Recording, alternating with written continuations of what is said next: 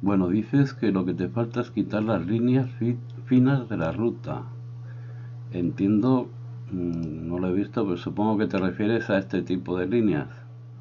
Eh, abres unos liners, o sea, esto de aquí, pinchas en, el embudo este que hay aquí este lado, activa todo para ver todo esto de aquí, de las restricciones, y si te fijas tienes, aquí hay varias opciones, cuatro opciones que serían, vamos a seleccionar esta curva o esta. Eh, tiene una opción que es para eh, bloquearla en pantalla, o sea, si presionas este primero, en la línea no la puedes tocar. Esto lo voy a dejar. Tienes el segundo que es la vista. Si lo ocultas es como la letra H, o sea, al más H lo oculta, lo enseña y la letra H lo esconde. Y se puede hacer desde aquí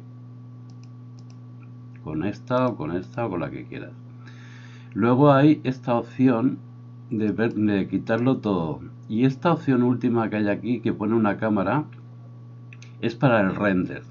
O sea, si yo ahora hago un render me saldrán, bueno, me tendrían que salir dos líneas, ¿vale? En el render.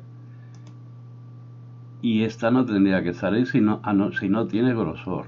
O sea, no tener grosor no sale, es una curva Bezier, no sale en el render. De todas formas, si te refieres a esto, sería, por ejemplo, voy a desactivar que no se vea ni esta en el, en el render final, ni esta. Aunque esta ya te digo que no se ve porque no tiene nada. Entonces, cuando hago el render, solo sale una.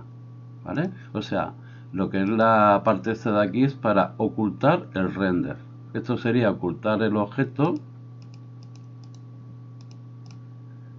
la curva de aquí. Y esto sería ocultar el render.